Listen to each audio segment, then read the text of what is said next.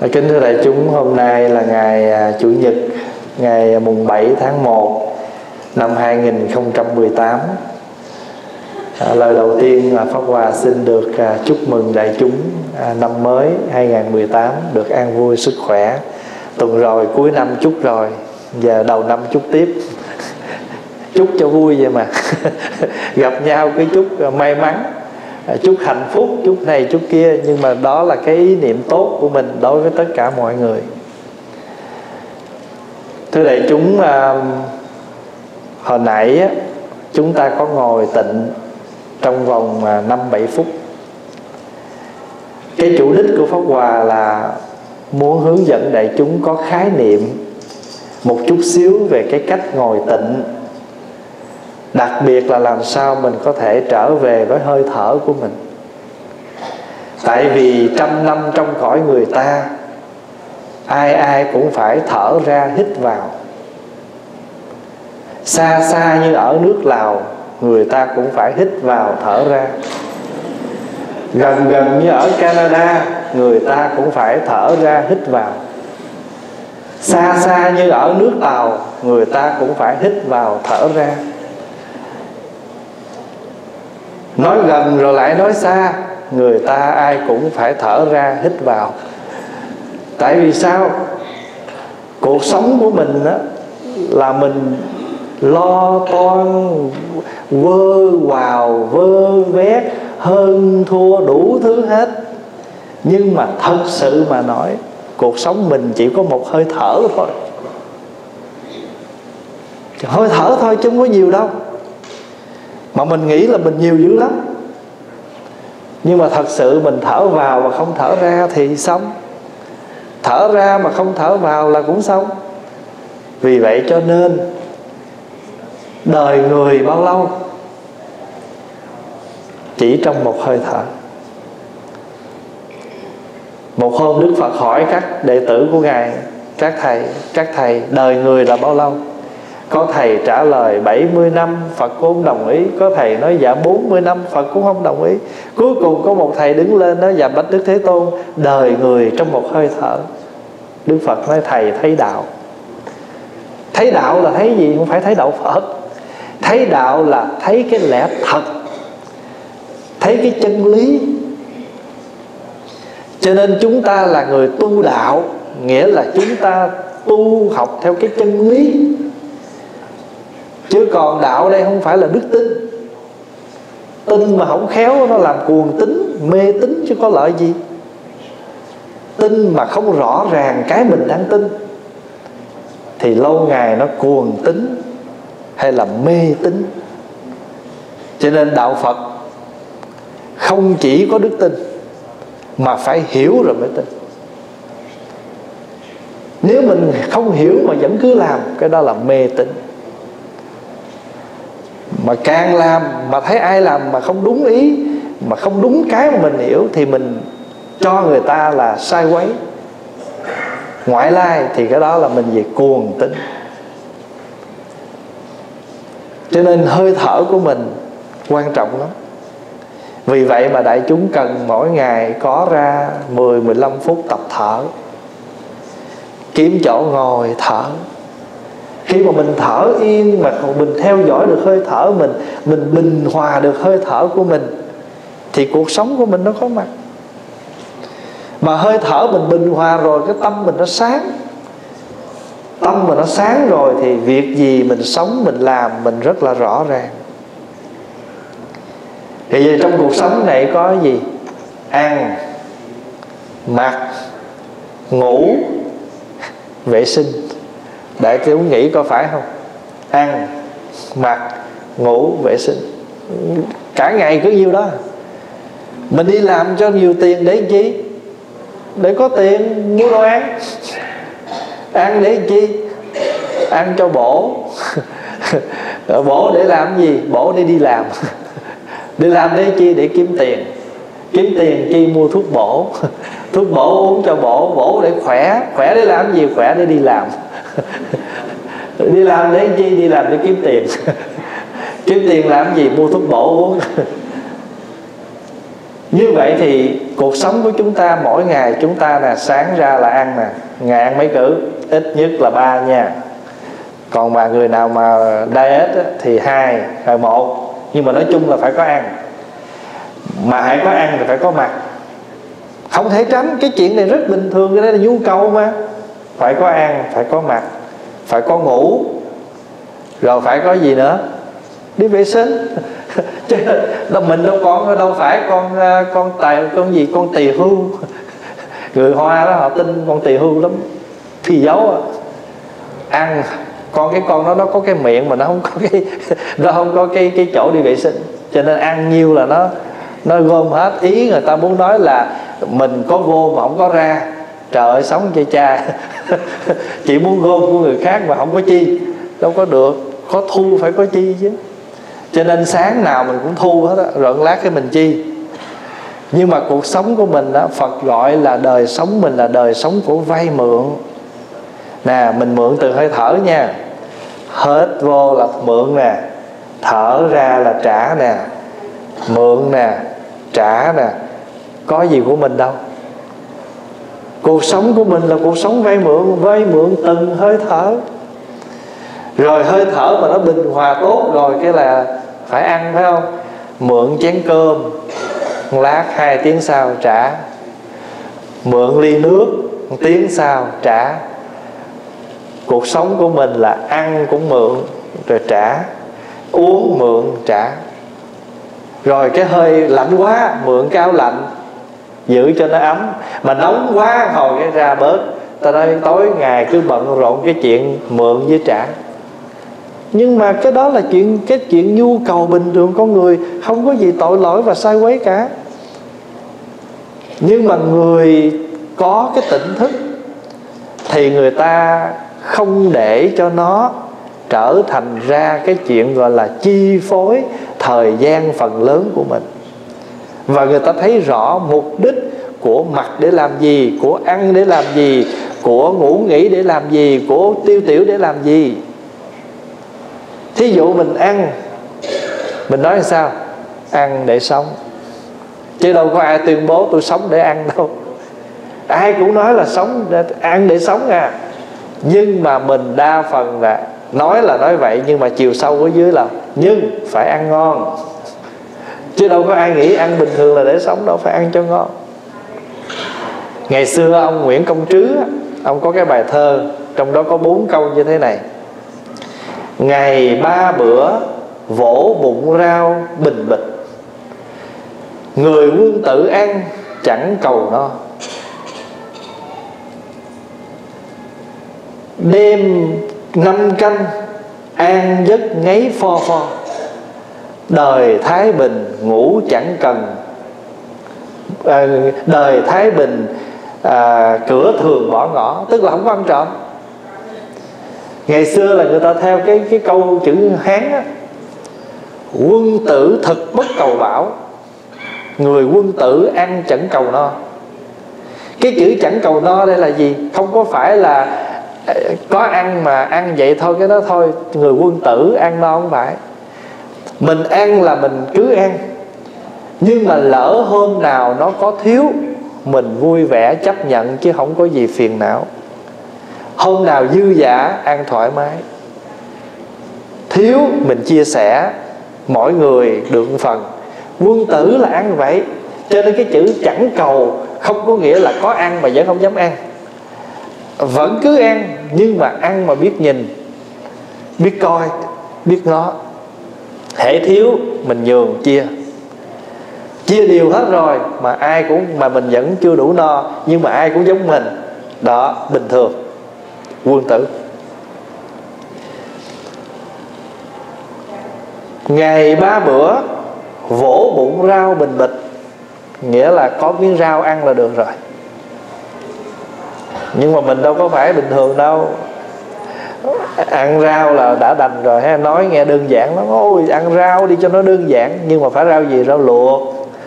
À, luộc xong rồi cho miếng uh, dầu hào lên thêm vài cái nấm đông cô lót lên. Rồi nếu mà có ờ, gì gì nữa lót lên tức là sau cái tiếng rau luộc là nó còn nữa chứ phải. Ôi chấm nước tương được rồi. Nhưng mà có ớt không? Đó là không có sao nhưng mà ở đây Pháp Hòa muốn nói để cho chúng ta thấy rằng cái cuộc sống của chúng ta. Nếu mà nói cho kỹ nghĩ cho cùng thì tất cả chỉ là vay mượn tạm thời. Nhưng nếu chúng ta không có rõ ràng cái vay mượn thì chúng ta bị cái vay mượn nó chi phối nhiều quá. Thì chúng ta mất thời gian với những công việc chính yếu của mình cần làm. Ví dụ như á, mình đi làm. Trong hãng cho mình á nửa tiếng để ăn và mình trong đầu mình luôn luôn nghĩ sao? Ăn lẹ, để no, để làm gì? Để đi làm. Đó. Vậy thì mình thấy cái đi làm là cái cái chính yếu, còn ăn là để dưỡng bụng mà đi làm. Thì cuộc sống của chúng ta, thỉnh thoảng chúng ta phải quán như vậy. Mình ăn để mà duy trì sự sống này. Vì vậy cho nên có nhiều lúc ăn dở một chút nhưng mà bảo đảm cho sức khỏe ăn càng ngon, càng dễ bệnh. Tại vì cái ngon, chính cái ngon đó, nó rất là nhiều cái hóa chất. Ngày xưa tại sao ông bà mình sống lâu, sống thọ là tại vì ông bà mình ăn đồ organic nhiều hơn mình. Mình bây giờ mà vô buôn củ cà rốt mà organic là là sao? Mắc tiền phải không? Hồi xưa là chê mấy cái đó mà trồng ở trong vườn là đồ dỗm bây giờ mà đi vô chợ mua mấy cái đồ đó là mắc tiền hơn. Hồi đó mình đi chợ là lụa thiết là bự, nhưng mà bây giờ càng bự người ta càng ớn. Tại vì cái nào mà nó to, nó ngon là nhất định là không phải là cái bình thường. Nhưng mà tại sao? Vì cái nhu cầu bây giờ con người quá lớn, cái nhu cầu quá nhiều. Làm sao người ta cung ứng đủ? Một cái thành phố thôi mà một ngày phải tiêu thụ bao nhiêu con gà, con vịt thì buộc lòng người ta phải dùng hóa chất khi người ta nuôi đó thôi. Có những chỗ là trồng xà lách là chỉ có một đêm thôi. Ngâm cái hạt nó vô rồi để xuống rồi tưới là ngày hôm sau là, hai hôm sau là đã có xà lách rồi. Dễ sợ không? Cho nên thỉnh thoảng quý vị mua một trái dưa hấu về đó, để đâu chừng hai ngày quý vị cắt ra, nước không ở trong. Cắt ra nó nó bở rẹp hết trơn. À, là cái trái dưa hấu đó không bình thường có những lúc người ta đem vô người ta cho xoài đó. Mấy chục thùng. Tôi nhìn xanh thật đẹp nhưng mà cắt ra đen hết cái ruột. Đâu có ăn được đâu. Bỏ hết. Vậy thì mình biết rằng á giống như đời bây giờ mình thấy nhiều cái thứ nó rất là đẹp nhưng mà tốt mã rã đám. À, hôm rồi đi à, qua quảng quảng quảng châu mà trước khi pháp hòa đi là dặn rồi nha, ai đi vô trong cái tiệm mà bán ờ, mấy cái iphone rồi đó, nhớ là chỉ coi cho vui không mua nha. Dặn vậy đó, rồi bước xuống xe cái 17 người mua. Cái iPhone 7 cách đây mấy năm nha, iPhone 7 mà con trăm đô cái. Trời ơi, rẻ quá, iPhone 7 mà qua đây mua có 100 đô một cái à. Nó đứng, nó quảng cáo ở trong kia. Mà trước khi lấy ra, nó nói rồi nha, Ra khỏi tiệm là no return. Ôi chà, có 100 đồng. Tốt quá. Đem lên xe cái bắt đầu mở hộp rồi ra, Bắt đầu quẹt. Sao quẹt nó không chạy? Cái quẹt qua sao nó không chạy? Lắc tới, lắc lui Hồi cái cầm thổi cái phù của nó chạy. À cho nên mình ham cái đồ rẻ tiền thì nó cũng có cái giá của nó chứ đâu phải không? Thành thử là ở đây mà chị muốn nói á, cái vấn đề là cuộc sống của mình cái chuyện ăn mặc ở ngủ vệ sinh của mình là cái chuyện nhu cầu bình thường của con người. Nó không có gì là sai quấy cả. Nhưng mà nếu mà chúng ta thiếu cái sự tư duy và chúng ta thấy rằng chúng ta cần bỏ cho nó bao nhiêu thời gian mọi thứ. Rồi còn dư cái thời gian còn lại mình cần làm cái gì? Chứ còn không thì cả ngày cứ bận ăn, hay là cả ngày cứ bận lo mặc hay cả ngày cứ bận ngủ. Có nhiều vị người ta thích quần áo thì ta rảnh là ta shopping, ta mua đủ thứ hết. Có nhiều người ta thích ăn, ta nên ta nó lên một mâm cơm ăn từ trưa cho tới tối à, tối ngày cứ lo ăn thành thử ra mình mà không khéo thì cái nhu cầu á, cái nhu cầu nó biến thành ra gì? Cái tham cầu. Cái nhu cầu của con người mỗi ngày là vậy đó, ăn mặc, ngủ, vệ sinh vậy. Nhưng mà nhu cầu bao nhiêu? Ít lắm. Nhưng mà cái tham cầu thì nó rất là nhiều, tại vì cái gì rẻ là phải mua chứa chứ. Cho nên Phật dạy trong kinh đó nhiều thứ lắm mà hôm nay Pháp Hòa chỉ nói một thứ thôi, đó là ăn. Phật mới dạy trong kinh nè. Mình ăn để làm gì? Ăn là gì? Ăn là một cái hành động đưa thức ăn vô trong người để nuôi dưỡng cơ thể. Con người hay động vật, con con thú nó cũng ăn. Như vậy ăn là động tác, một động, để một động tác của con người hay của vật đưa một số thức ăn thích hợp vào để nuôi dưỡng các tế bào, duy trì sự sống mà ăn thì phải đi với uống. Thì kêu ăn uống mà. Uống cũng vậy. Uống là một hành động đưa cái thức uống phù hợp với cơ thể, vào trong cơ thể này để nuôi tế bào giữ sự sống. Ai cũng nói ăn để sống hết á. Nhưng mà mình không khéo thì ăn để chết. Tại vì mình ăn quá nhiều những cái cái cái độc tố, cái hóa chất. Cho nên cái câu mà, cái câu quán tưởng khi bữa ăn á chỉ xin ăn. Những thức ăn có tác dụng nuôi dưỡng lòng từ bi, nuôi dưỡng cơ thể, ngăn ngừa tật bệnh và bảo hộ được môi sinh. Mình ăn như thế nào mà để giảm thiểu khổ đau của muôn loài? Vừa vừa giảm thiểu khổ đau của muôn loài mà vừa được cái sự, gọi là gì? Nuôi dưỡng cơ thể. Và giảm đi được cái sự tổn hoại cái môi trường sống. Quan trọng lắm.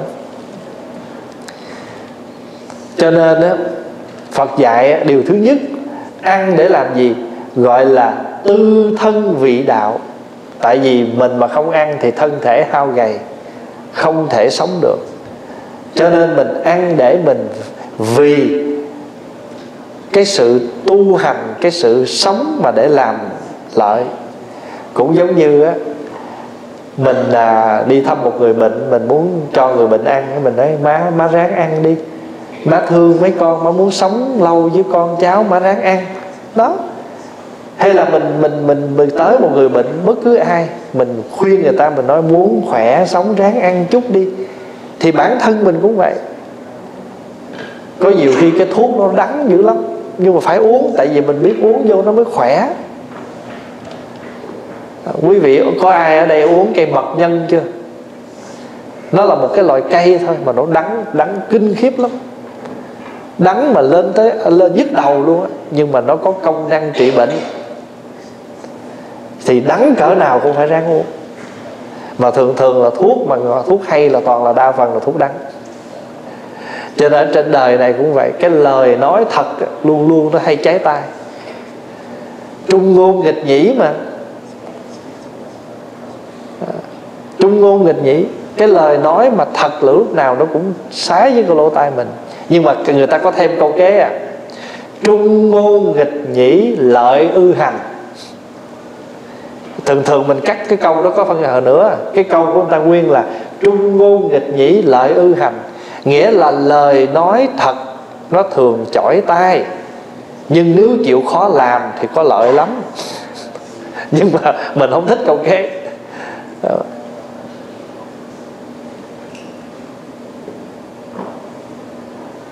Thuốc đắng lợi ư bệnh. Khổ dược lợi ư bệnh. Khổ dược là thuốc đắng lợi ư bệnh là có lợi cho các bệnh. Nó có thể khả năng nó chữa bệnh. Thì ở đây cũng vậy. Tư thân vị đạo là luôn luôn tâm niệm mình, ăn để mình sống, để mình hành đạo. Người ta thường gọi là nuôi thân hành đạo. Thân thể mà không khỏe, không làm được gì hết cho nên quý vị nhớ đức phật của mình đó từng tu khổ hạnh phải không? Ngày tu khổ hạnh mà đến cuối cùng ngày xỉu ở bên đường. Ngày xỉu bên đường thì trong khi mà ngày mơ màng trong giấc trong cái giấc uh, trong cái cái cái cái cái ngày xỉu đó thì có một đoàn hát đi ngang. Và người ta căng cái dây đàn lên căng quá ta vừa khải vô thì cái dây đàn nó đứt. Rồi khi mà người ta thay cái dây đàn người ta làm cái dây đàn nó lỏng quá đánh nó không kêu người ta căng cái dây đàn vừa chừng thì tiếng nó kêu hay. Thì trong khi đó đức phật học ra được một chân lý. Đời sống của mình như là một cây đàn. Nếu căng quá sẽ đứt, dùng quá không kêu. Vừa chừng và cuối cùng đức phật ra phát minh ra con đường trung đạo. Trung đạo là gì? Đói ăn mệt ngủ. Cho nên thường thường á mình ăn vừa no lúc nào nó cũng khỏe hơn ăn ráng có nhiều lúc còn dư có chừng hai ba muỗng cơm thôi mỗi người ráng miếng thì cũng được thôi.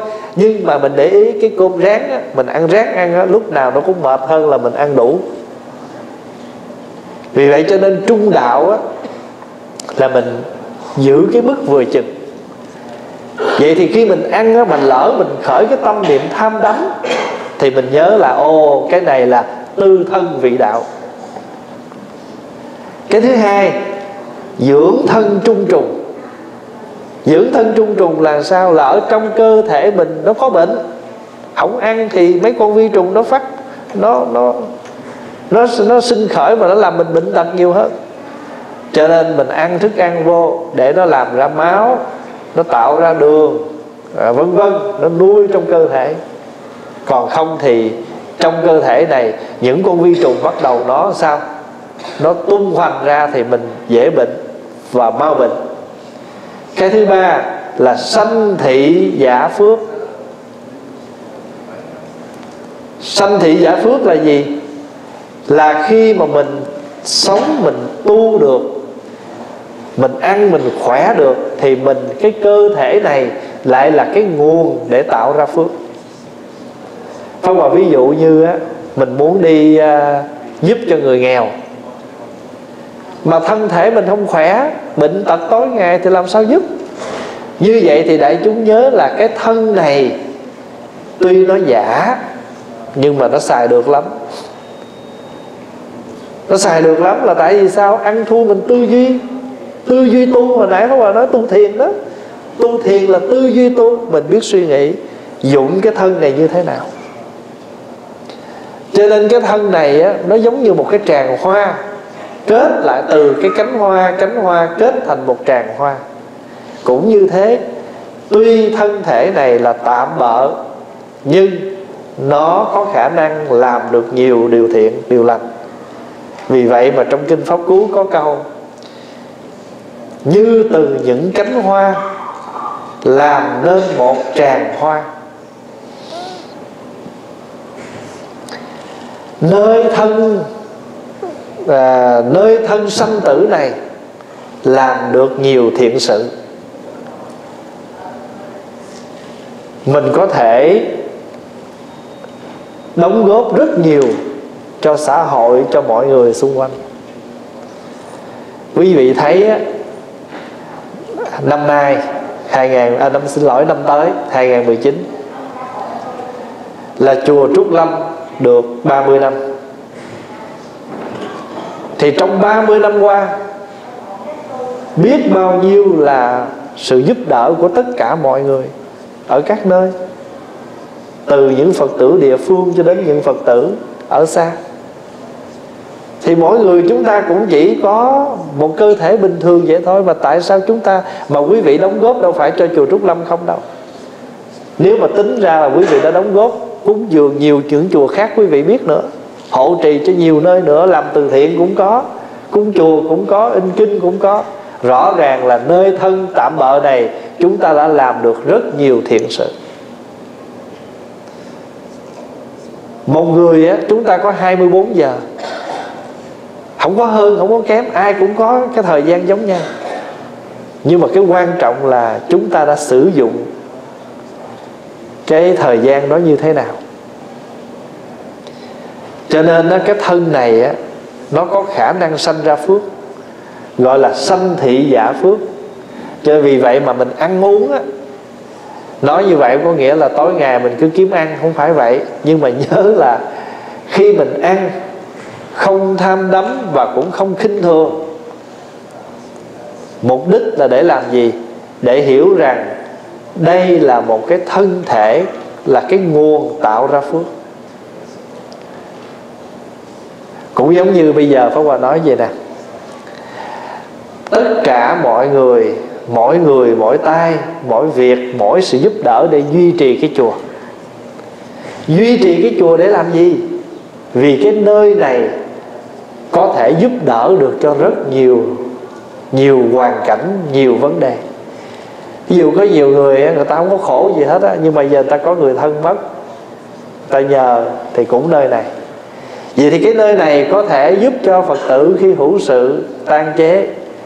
Cái nơi này cũng có thể giúp cho người ta khi người ta gặp có những cái chuyện rắc rối trong cuộc sống gia đình. Nhưng mà nơi này cũng là cái nơi quy tụ hàng tháng, hàng tuần để ngồi thiền, nghe pháp, chuyển hóa thân tâm.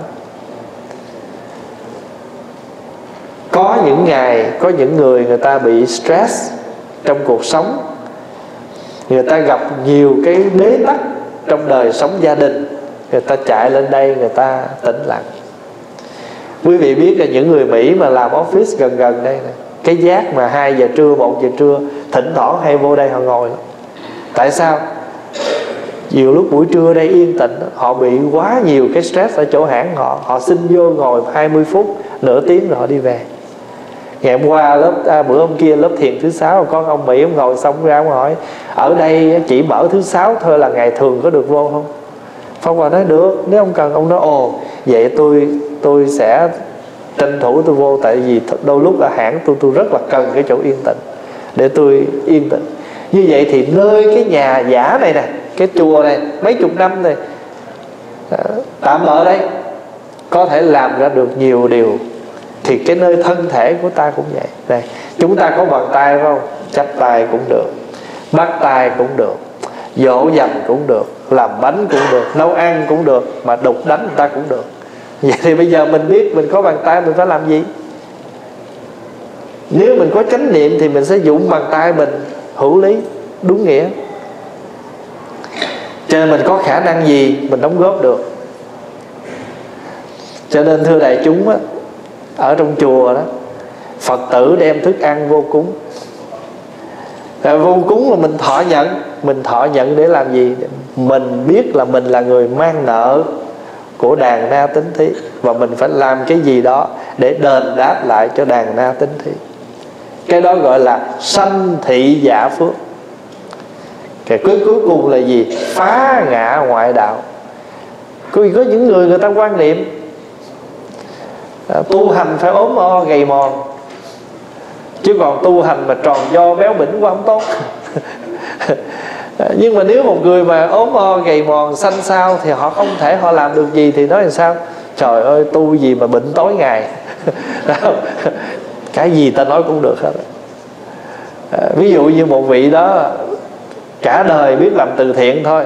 Nó tu không lo tu đi lo làm từ thiện danh lợi và người nào mà ta gõ mỏ tụng kinh, ta tu riết cái nói sao? Yếm thế, không có không có nhập thế độ đời. Cho nên cái gì ta cũng nói, cái quan trọng là mình thấy những cái gì mà mình cần, chỗ mình mình là cái nơi gọi là sanh thị giả phước, thì phá đi những cái lý luận của những người người ta lệch lạc. Người ta nhìn rất là lệch lạc. Phá đi những cái nhìn lệch lạc cho nên đại chúng nhớ là tu á, là hành mà hành này không có nghĩa là hành thân ép sát đa phần người ta hiểu vậy đó hành là phải hành thân ép sát không phải tu hành là thực hành những gì mình học để mình ứng dụng. Chữ hành này là thực hành là tu tập. Như vậy hôm nay Pháp Hòa trích bốn cái nghĩa mà Phật tổ dạy trong kinh luận. Ý nghĩa của cái ăn chưa nói mặc chưa nói ngủ, chưa nói gì hết. Phật nói đủ hết á. Nhưng mà hôm nay mình nói cái ăn. Và mình hiểu rằng ăn để sống. Và ăn để làm gì? Ăn để dưỡng thân tu tập, gọi là tư thân vị đạo. Dưỡng thân trung trùng. Trong cơ thể này có nhiều vi trùng lắm. Cho nên mình ăn để mà mình giữ nó, đừng có để nó phát tác và nó phát tác sớm quá thì mình không thực hiện được những cái gì mình muốn làm. Cho nên mình muốn được cái chuyện gọi là sanh thị giả phước, giữ thân làm phước thì phải nhớ là trong đó mình cũng dưỡng những cái bệnh tật trong cơ thể mình. Cái cuối cùng là phá ngạ ngoại đạo. Tức là ngoại đạo là gì? Không phải là người họ không cùng đạo phật với mình mình kêu họ ngoại đạo. Cái chữ ngoại đạo theo phật giáo là khi chúng ta không thấy được lẽ thật khi chúng ta không thấy được cái chân lý cái đó gọi là ngoại đạo. Thì à, hôm nay trong cái buổi sinh hoạt này thời gian không có nhiều Pháp Hòa chỉ xin à, chia sẻ với đại chúng bốn cái ý nghĩa, bốn cái khái niệm, bốn cái mục đích mà Phật tổ đã luận trong kinh sách để cho chúng ta hiểu rằng cái ăn ăn nó có bốn cái lợi. Nhưng mà chính chúng ta hiểu như vậy thì chúng ta biết rằng cái sự ăn này nó chỉ là vậy thôi cho nên chúng ta không có tham đắm không có nhu cầu. Người quân tử ăn chẳng cầu no nghĩa là có chi ăn nấy miễn là đủ sức khỏe đủ giữ duy trì cái thân để làm được những cái việc khác là quý rồi. Còn mình bây giờ chẳng những ăn no mà phải ăn ngon. À, phải ăn cho ngon, mà hãy muốn càng ngon thì phải càng cực. Càng ngon là phải càng cực, mà cực nhiều quá thì thời giờ nó không còn. Cho nên dĩ nhiên hãy hôm nào có tiệc thì cứ bài ta kêu bày tiệc mà. Có tiệc là phải bày, món này, món kia. Nhưng mà ngày thường thì chúng ta đơn giản những bữa ăn của mình, để cho chúng ta vừa có sức khỏe mà không mất thời gian hiểu được như vậy mình ứng dụng được như vậy thì cuộc sống của mình nó bình an hơn và nó đỡ chúng ta phiền phiền não về những cái gì mà chúng ta đang làm trong cuộc sống. Có nhiều người ta nấu ăn mà ta phiền não lắm. Mà quý vị biết không những người mà nấu ăn mà nấu trong phiền não á, là cái người ăn á, người ta bệnh. Cho mình nấu ăn mình phải vui vẻ mình cởi mở mình hoan hỷ đặc biệt là nấu ăn cho chung. Chùa nào cũng có một ban nhà bếp hết á. Không có chùa nào mà không có cái ban đó. Mà cái ban đó là cái ban bảo vệ sức khỏe, bảo vệ ờ, coi như là sự sống còn của cả đại chúng là nhờ cái ban đó. Mà cái ban đó nấu trong hoan hỷ, trong nhẹ nhàng, thì ta ăn vô, ta đỡ trúng độc. Phải không? Còn mình nấu trong sân si, nấu trong phiền não, nấu trong giận tức, nấu trong gây gỗ thì nó không có nên vậy người mẹ cũng vậy. Mẹ mà nấu ăn cho con là phải nấu bằng tình thương, chứ không phải nấu bằng bổn phận. Trời ơi, mệt ghê vậy đó, mà bổn phận phải nấu. Thành thử ra dục. Mình nấu. Có phải Hòa nhớ có một vị giả à, ngày ngày cái vị đó luận như thế này. Cha mẹ là thương con. Chuyện đó bình thường, không có gì phải gọi là bổn phận. Thế vì mình thấy mình có bổn phận. Thì cái chữ bổn phận là mình nói Thì mình thấy có trách nhiệm thôi. Chứ thật sự cái tình thương của cha mẹ Nó rất là thiêng liêng. Cái chữ bổn phận dùng nó cũng chưa đúng nữa. Con mình sanh ra là mình thương à. Cái tự nhiên nó như vậy chứ không có gì bổn phận. Cho nên khi mình nấu ăn cho mọi người á, mình thấy cái chuyện nó thiêng liêng. Mẹ là nấu ăn cho con, vợ là nấu cho chồng, hay ngược lại, cha là nấu ăn cho con, cha là chăm sóc con. Chứ không có đấy đáng lý chuyện này má mày làm nghe. Còn tưởng má mày không làm, tao làm. Thí dụ vậy, thì tự nhiên mình thấy có cái khoảng cách. Còn cái chuyện cha mẹ mà được chăm sóc con, đó là hạnh phúc.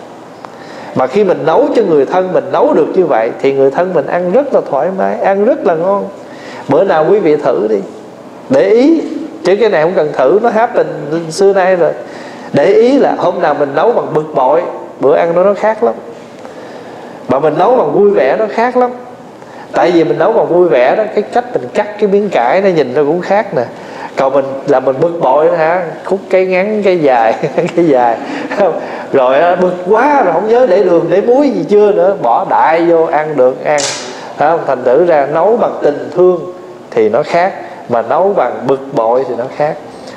Vì vậy mà nhà chùa là nơi nuôi dưỡng thân tâm của hành giả. Nghe pháp tụng kinh là nuôi tâm ăn cơm là nuôi thân. Như vậy, nhà chùa là cái nơi cung ứng đầy đủ hai phương diện nuôi, dưỡng cho một người. Tới chùa là được nuôi cả hai thứ, nuôi thân và nuôi tâm. Sáng giờ là nuôi tâm rồi, giờ chuẩn bị xuống dưới lầu. Kiếm dĩa cơm nuôi thân. Chúc đại chúng cuối tuần vui vẻ.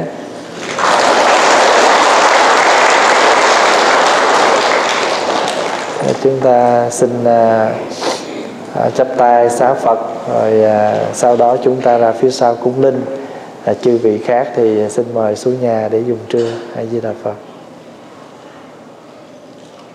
Quý vị xả chân chút cho khỏe trước khi đứng dậy.